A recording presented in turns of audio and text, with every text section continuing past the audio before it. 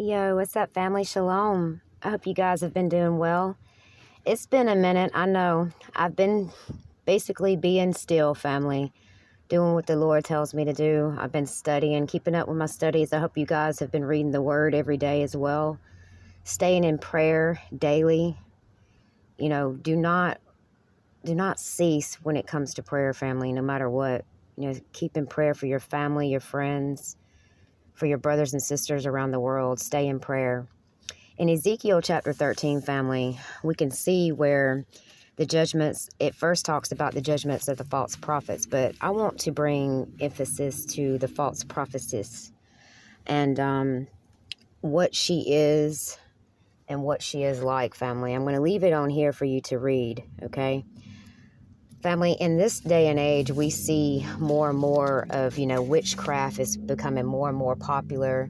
People are rejecting God more and more, and they are coming to you like they know the future, like they have these vibes and they feel this energy and they feel this, this, and this, and they can see signs and wonders.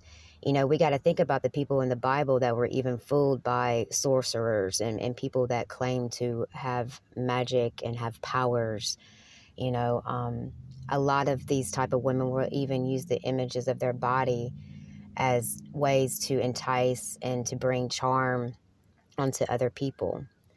Um, they will use tarot cards, you know, crystal rocks, and you know they worship plants. They worship Mother Earth. They don't worship the Creator of all things. They they worship nature um, and, and look, God made nature, guys. You know, it is good for us to get out in nature and get out in the wilderness, but we are not to worship the creation. And this is what these type of women, these type of people do. But God tells you right here what's going to come to them, family. And this God right here is the same God today. Our Father in heaven has not changed his ways, family. He does not change. Humans, we change. We change over time. And we and, and, and nowadays you see more and more women, even young women, you know, dabbling in this stuff and thinking that it's acceptable. I used to do it, family. I used to think these things were okay until I came to the knowledge of the truth, until God revealed the truth to me. And it's like, okay, I really don't need to be messing with this stuff. And of course, people are going to call you names, man. You know, let them call you names. You'll have the last laugh in the end. But but if you've got people like this around you, family, you need to warn them of the error of their ways. You need to bring it to their attention that how you're living, what you're doing, what you think is bringing you protection and bringing you love and it's bringing you the complete opposite. And and and guys, the devil is good at rewarding these people so it really does manipulate their brain into believing that they have power, that they have, you know, all these things that they can manifest and all this. And it's it's a joke. They're being deceived. They're deceiving themselves. But uh, along with deceiving themselves, they're deceiving many other people too. Guys, there's only one way and that is Yeshua Jesus Christ. That's all you need in life. You don't need rocks and tarot cards to tell you your future. You don't need some woman.